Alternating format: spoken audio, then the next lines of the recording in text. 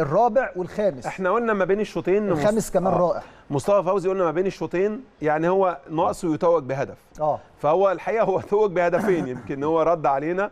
بص رد- الهدف ده. هات لنا الهدف. الخامس لو آه، سمحت هات لنا يا الهدف. اللي زي بتاع كريستيانو ده والنبي الهدف الخامس الجول ده بقى لو كان. حد تاني جابه كان زمان دلوقتي مصر كلها قامت ما عادتش حقيقي؟